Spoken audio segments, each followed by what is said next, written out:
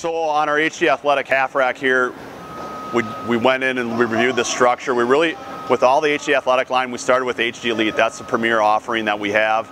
We know it's durable, we know it's built to last, and we know we went through a lot of iterations to get that engineering right. We've carried over a lot of that engineering to HD Athletic.